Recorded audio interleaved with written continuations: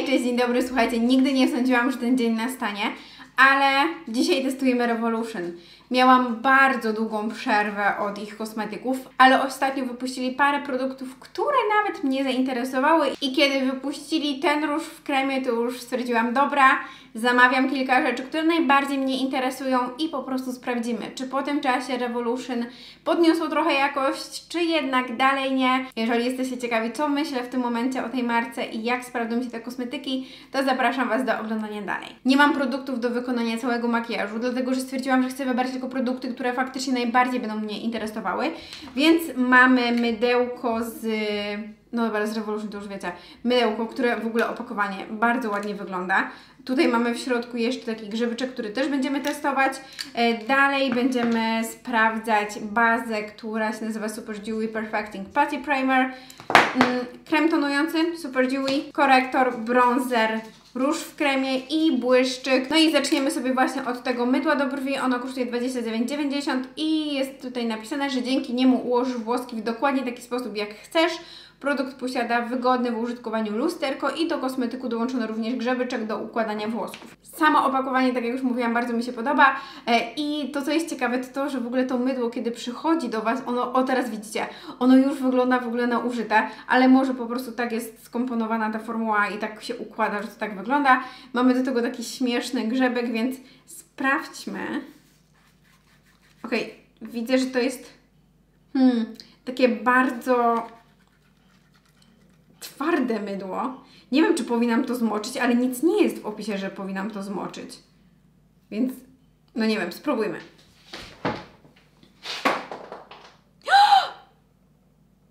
Właśnie mi wypadło. Serio?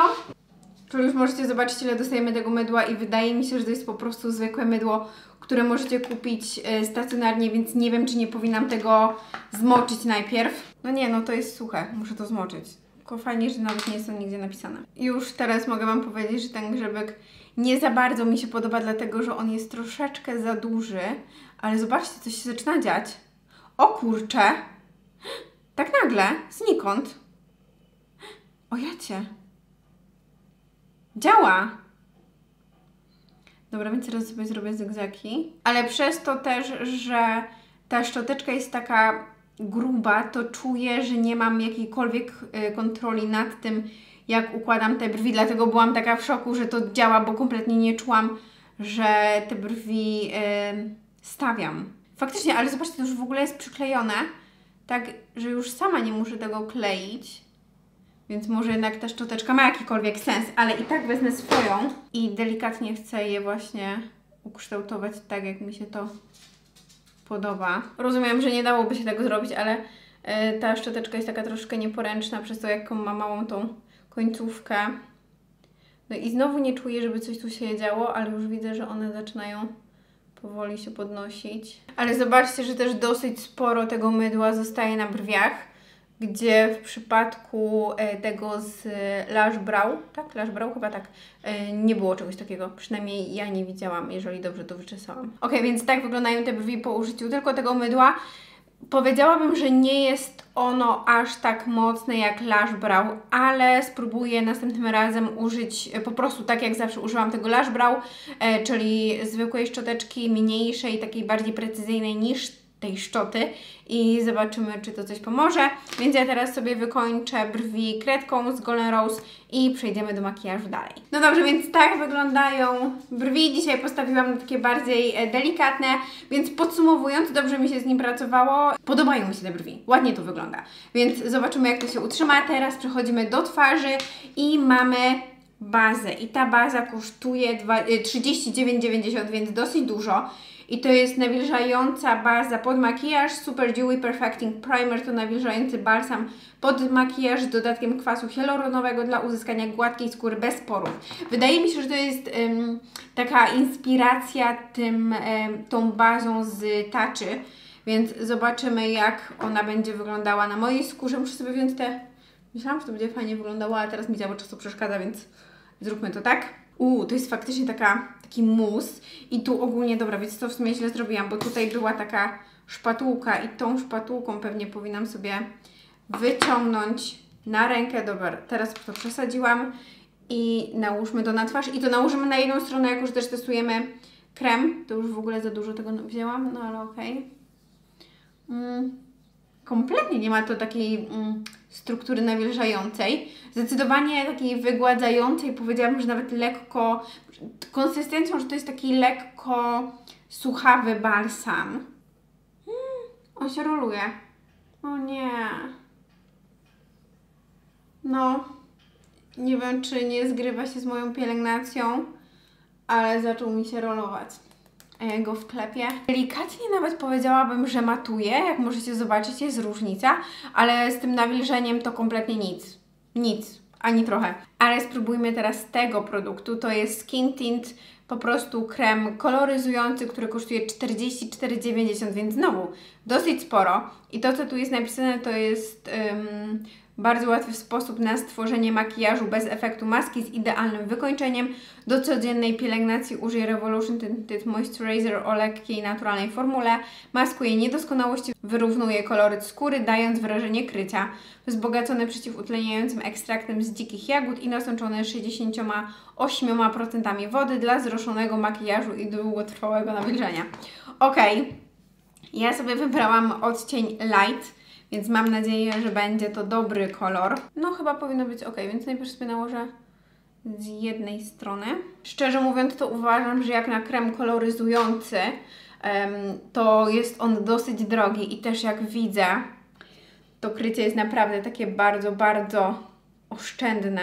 Na pewno mają dobrych ludzi w, w sekcji, gdzie projektują opakowania, bo no nie ukrywam, że trochę te opakowania mnie kupiły. No na pewno to, co muszę powiedzieć, że praktycznie go nie widać na skórze. Delikatnie mi się mm, poprzykleją jakby do suchych miejsc na nosie i to nie wygląda jakoś super ładnie. Ale zobaczmy teraz, jak będzie wyglądał na tej bazie. Nie wiem, czy jesteście w stanie to zobaczyć, mam nadzieję, że tak, ale zobaczcie, że on na tej bazie jeździ. On kompletnie nie chce się wchłonąć i tylko robią się takie smugi. Czyli tutaj mam bazę, a tutaj jej nie mam. I jest spora różnica, oczywiście na korzyść tej strony bez bazy. Zastanawiam się, czy tego nie zmyć i nie nałożyć. Ale no nie, no robimy test. Dobra, czekajcie, wklepię to dobrze. Wiecie co, ja się martwię, że skoro ten podkład już tak źle wygląda sam, to że z tym różem to kompletnie się nie utrzyma. I no zobaczcie. Kompletnie nic się nie trzyma. Zmyłam normalnie olejem, żel, serum i filtr. Poczekałam, aż to się wszystko wchłonie, ale jako, że zmyłam z całości, to spróbujmy najpierw y, użyć tego różu. To jest Super Dewy Liquid Blush. Y, wybrałam sobie go w odcieniu Flashing For You i kupiłam go na Beauty Bay, dlatego że nigdzie nie był dostępny stacy... stacjonarnie to już w ogóle, ale online w Polsce. Kosztował 7 euro e, i sprawdźmy. Nałożę go sobie, jako że i tak ten krem tonujący jest tak mało kryjący, to to wszystko powinno być spokojnie widoczne. Tak wygląda kolorek. Rozsmaruję go sobie na palcach. No dobra, no i co? I wklepuję. Nałożę sobie tu i ociupinkę na nosie i teraz sobie wszystko wklepię gąbeczką. Dobra, widzę, że łatwo się rozciera, więc spoko. Jasne, że teraz jakoś super nie wyglądam, ale myślę, że właśnie jak nałożę e, ten krem tonujący, to powinno być ok. A w inny dzień spróbuję sobie to nałożyć na podkład i wtedy zobaczę, jak to będzie się e, sprawdzało, ale nałożyłabym na coś, co znam. Dobra, no to próbujmy jeszcze raz, już bez bazy sam krem, ale też wydaje mi się, że ten kolor jest odrobinkę dla mnie e, za jasny, ale jak już tak wiecie, rozsmaruję, ale jak już tak wklepię w całości, to nie wygląda to tak źle. Ale już na ten moment chciałam powiedzieć, że nie wydaje mi się, żeby ten produkt był warty swojej ceny. No bo jednak 45 zł to wcale nie jest tak mało, a on ma tak minimalne krycie, e, że uważam, że ten e, krem BB z Kobo czy ten podkład rozświetlający z Liren czy chociażby ten z Faceboom, są to po prostu lepsze produkty, a są oczywiście no praktycznie, że dwa razy tańsze. I teraz jak już wszystko to wklepałam, nie wygląda to najgorzej, ale e, dla mnie kompletnie nie jest to produkt nawilżający, dlatego że widzę to, że on nie leży tak idealnie, mega nawilżająco na skórze, tylko widać właśnie takie, że wchodził mi troszeczkę w pory. No i jak przy y, tym produkcji tych porów nie było widać, ale co z tego, skoro to nie mogło ładnie leżeć na tym, spróbuję innych produktów z tą bazą, bo sam efekt dawała fajny, no ale właśnie w połączeniu już z podkładem nie do końca. Spróbujmy teraz szczęścia z korektorem, który też kosztuje 39,90 i tu jest napisane, że to jest produkt, który posiada wygodny aplikator w kształcie gąbki, rozświetla i rozjaśnia skórę, maskuje cienie pod oczami. Mamy tutaj 3 ml i to jest korektor kryjący z rozświetlającym wykończeniem i wygodnym aplikatorem w kształcie gąbki. A opakowanie znowu bardzo mi się podoba. Ja sobie wybrałam odcień Fair. Um, widzicie to tłuste? To jest właśnie to, co wychodzi z tego korektora. O, dobra. Czekajcie. Um, czy to trzeba wstrząsnąć?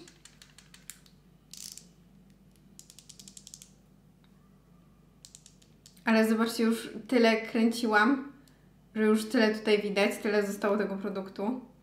Nie no, patrzcie. Co, co to jest? Czy wy to... Czekajcie, pokręcę dalej, bo to przecież w końcu coś musi wyjść z tego, nie? Zaraz to normalnie zużyję. Okej, okay, dobra, słuchajcie, teraz w końcu coś wychodzi. Już mi się rozwaliła warstwa pomiędzy podkładem a korektorem. Krycie jest praktycznie, że znikome. Chcę tutaj troszeczkę dołożyć i zobaczyć, czy można to krycie budować. I jak widzicie, delikatnie to krycie można faktycznie zbudować. Nałożę jeszcze odrobinkę. No i okay, jak sam korektor nie wygląda najgorzej, tak bardzo źle wygląda to miejsce, gdzie jest właśnie połączenie podkładu i korektora. Sam korektor muszę Wam powiedzieć, że podoba mi się jak wygląda, ale teraz muszę właśnie go sprawdzić z innymi podkładami, czy to korektor ściąga podkład, czy podkład jest tak słaby, że ściąga się przy korektorze, więc to sprawdzę, ale podoba mi się to, jak on wygląda pod oczami. Co prawda musiałam wykręcić tyle, że zostało mi tylko tyle produktu, bo wcześniej był sam olej, e, no ale teraz no zobaczcie, że te okolice pod oczami wyglądają naprawdę ładnie, są ładnie rozświetlone, więc tutaj zgadzam się z tym, że jest to korektor rozświetlający. E, wybrałam też dobry odcień, podoba mi się jak to wygląda, ładnie tutaj mi wyczyścił e, cień. Więc spoko. Został mi już tylko bronzer i błyszczyk, więc ja sobie nałożę wszystkie inne rzeczy, czyli pudry, rozświetlacz yy, i konturówkę i zaraz do Was wracam. Ok, wykończyłam makijaż, nałożyłam sobie rozświetlacz i słuchajcie, nawet ten rozświetlacz wygląda źle, dlatego że zawsze robię tak, że nakładam yy, normalnie pędzlem i później yy, taką delikatnie zwilżoną gąbeczką wklepuję, żeby po prostu on wyglądał jeszcze lepiej. I ja wklepywałam i ten podkład się po prostu ściągnął.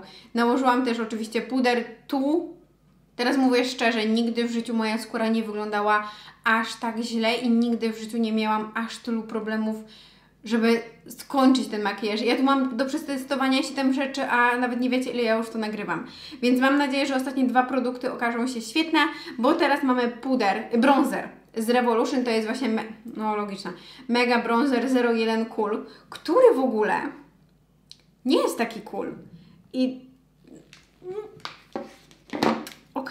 On normalnie kosztuje 24,90 i tu jest napisane, że posiada chłodny odcień, który idealnie nadaje się do konturowania. Chłodny odcień to to jest na przykład ten kolor. No ale zobaczmy. Już gorzej wyglądać nie mogę niż wygląda. A taki ładny makijaż oczu sobie zrobiłam, no. No ale dobra. Jeżeli to jest zimny odcień, to chyba nie chciałabym testować bonusera z Revolution w odcieniu ciepłym bo nie wiem, co to by było. Sam bronzer, jak widzicie, nie wygląda źle. On wygląda naprawdę bardzo ładnie na skórze. Ładnie się blenduje. Nawet jeżeli nałożycie więcej, to bardzo ładnie można i łatwo rozetrzeć tak, żeby wyglądał ładnie i naturalnie. Więc to bardzo mi się podoba, tylko po prostu no odcień kompletnie nie jest dla mnie. Wygląda to no źle. Po prostu. Ostatnia rzecz to jest błyszczyk, który też kupiłam na Beauty Bay za 6 euro i to jest Pouch Bomb Plumping Lip Gloss w odcieniu Peachy. I zobaczmy, jak będzie wyglądał. jest zdecydowanie taki grubiutki błyszczyk z grub... Ojejku, ile to z tego wychodzi? Z grubiutkim aplikatorem. Hmm, ojej, ale on ma strasznie mocny pigment.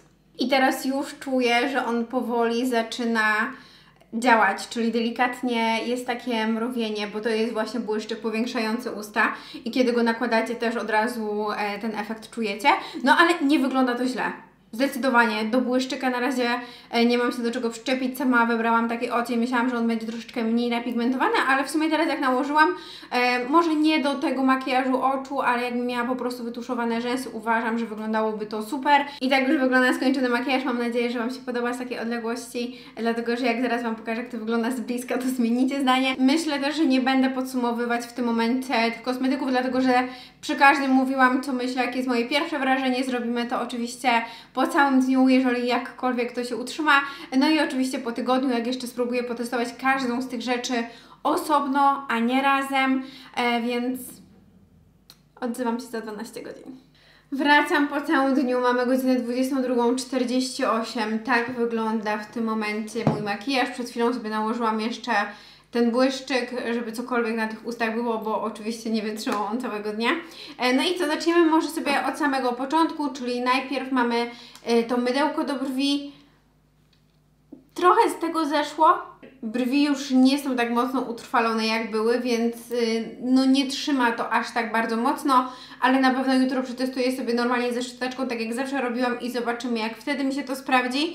E, później użyłam bazy, no to miałam ją na czole. Czy jest różnica pomiędzy tym czołem a tym czołem? Nie widzę żadnej różnicy, więc to też muszę spróbować już na pewno nie z tym, tylko z czymś innym i zobaczymy. No później właśnie użyłam y, ten krem koloryzujący i on wygląda tragicznie. To nawet za dużo powiedziane, że tragicznie. On jest tak rozwalony wszędzie na mojej twarzy. Nigdy nie miałam nic takiego, co aż tak źle by się utrzymało. Y, I tak naprawdę tutaj to jest... Nigdy tak źle nie wyglądałam. I tutaj czasem momentami mi się wydaje, że kawałek tego podkładu jest, powiedzmy, że podkładu, kawałek nie, nie, ale za to ten produkt, czyli ten korektor, zapowiada się nie najgorzej. On nie wygląda źle teraz pod oczami. Dalej ta okolica jest taka fajnie, powiedzmy, że lekko nawet nawilżona. Krycie dla mnie jest wystarczające, więc na pewno będę go teraz y, używać z innymi podkładami, które znam jak się sprawdzają i zobaczymy, czy rozwala korektor wszystko, czy właśnie ten krem. E, no i potem e, przeszłam do tego różu. Czy on jeszcze jest? Wydaje mi się, że już go nie mam na skórze. Więc to też jest do sprawdzenia, ale wydaje mi się, jeżeli mówimy już o samej aplikacji, samym produkcie, że to jest chyba najlepsza rzecz z tego wszystkiego, co dzisiaj testowałam. Najbardziej mi się podobało, jak wyglądał na skórze, ale tak patrzę i patrzę tu w podgląd, i patrzę tu w lusterko, i patrzę w to lusterko i wydaje mi się, że już go nie mam. Zobaczymy na porównaniu, jak to będzie wyglądało. Bronzer nie jest zły. Jeżeli uważacie, że ten odcień będzie Wam pasował, to jak najbardziej dla mnie on jest zdecydowanie za ciepły. Nie lubię aż tak ciepłych bronzerów. No a też to takie stwierdzenie, że to jest 01 Cool, no, no to nie jest chłodny bronzer. No nie jest. Przynajmniej nie dla mnie ale sama formuła, to jak się nakłada na skórę, jak się rozciera, bardzo fajne. I ostatnia rzecz to był ten błyszczyk. Przez cały czas, to jest ciekawe, kiedy mam go na ustach, teraz też, czuję takie delikatne mrowienie, ale znowu nie widzę, żebym miała powiększone usta, no bo to jest plumping lip gloss. Nie czuję, nie, czuję, ale nie widzę tego właśnie powiększenia. No i też dla mnie on ma troszeczkę za dużo pigmentu jak na błyszczyk, jeżeli chodzi o moje preferencje. Zdecydowanie wolę coś na takiego na wpół transparentnego i po prostu nie sądziłam, że to będzie aż tak intensywny kolor i będzie aż tak bardzo e, widać go na ustach, więc to nie jest do końca moja bajka, ale sam błyszczyk jest klejący, więc jak e, wiatr zawieje i włosy Wam wejdą na usta, no to na pewno to się przyklei.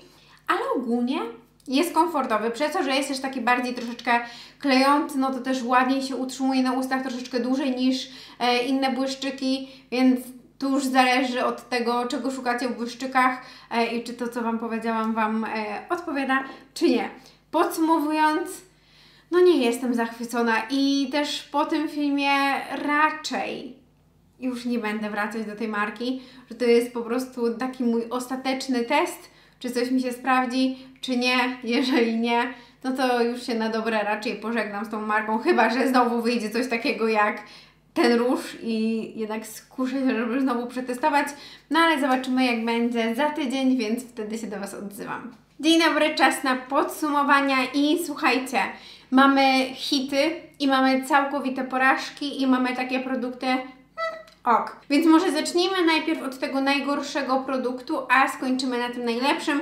Więc zdecydowanie najgorszym produktem dla mnie będzie niestety ten um, krem tonujący Super Dewy, dlatego że on po prostu z niczym nie chce pracować na niczym nie chce dobrze wyglądać i za nic nie chce się utrzymać na twarzy.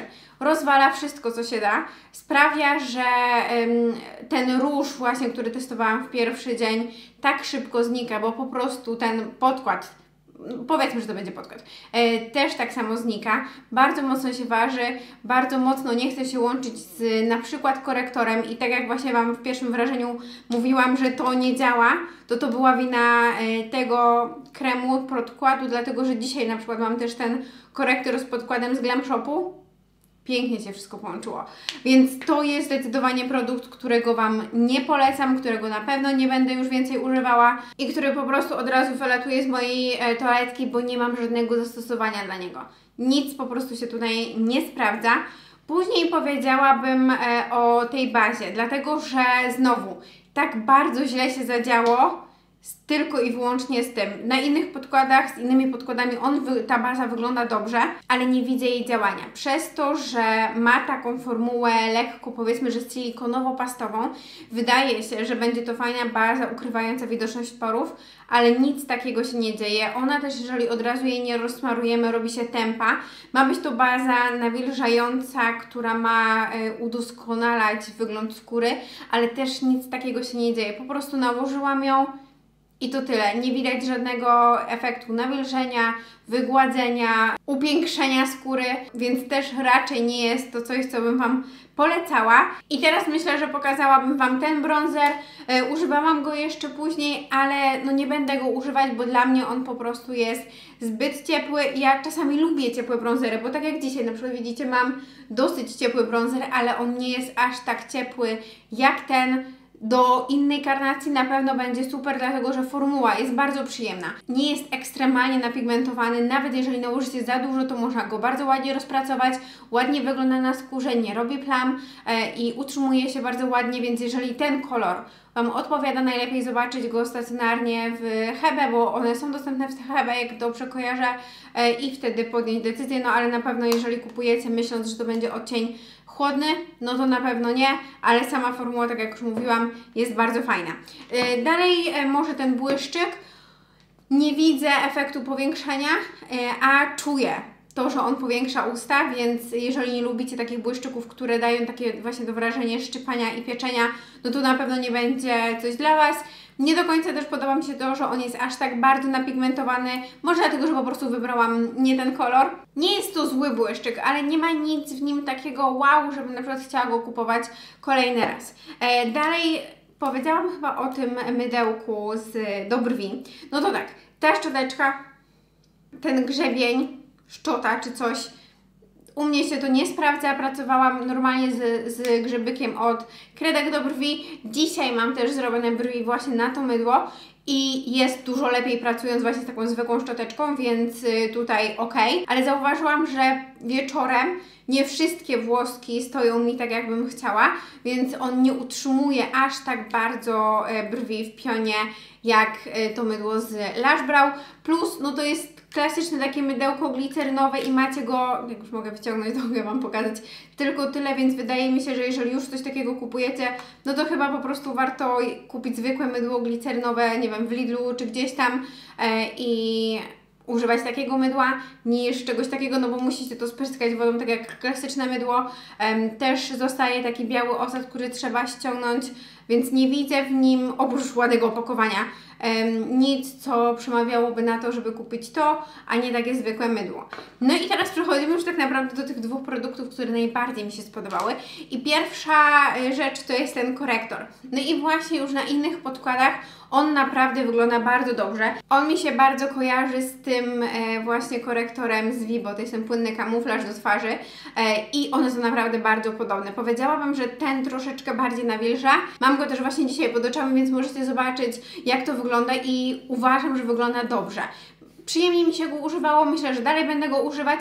Nie wiem jak będzie z zużyciem, dlatego że no, jak widzicie troszeczkę już użyłam i też trzeba było dosyć mocno kręcić, mieszać, żeby przestał wylatywać ten olej i w końcu zaczął korektor, więc to tak nie do końca było fajne, ale już sama formuła na normalnym podkładzie moim zdaniem bardzo dobrze się sprawdza, szczególnie dla osób, które nie potrzebują mocnego krycia, które chcą coś bardziej takiego lekkiego, nie przyciążającego skóry. Poszukujecie właśnie takiego korektora, który będzie ładnie wyglądał po całym dniu e, i macie ochotę po prostu przetestować e, coś z Revolution, no to myślę, że mogę Wam e, go polecić i ja jeszcze raz mam ten ocień Fair i bardzo ładnie to wygląda, bardzo mi się podoba. No i ostatnia rzecz to jest coś, co naprawdę uważam, że warto kupić. Jeżeli będziecie robić gdzieś zamówienie, gdzie ten produkt będzie, to ja bym bez zastanowienia go brała, a nawet zrobiłabym specjalnie zamówienie dla niego i mowa właśnie jest tutaj o tym różu. W pierwszy dzień nie byłam 100% zadowolona, dlatego że myślałam, że on mi zszedł, ale to zszedł mi e, ten e, krem, bo teraz, kiedy już używam z innymi podkładami, on się trzyma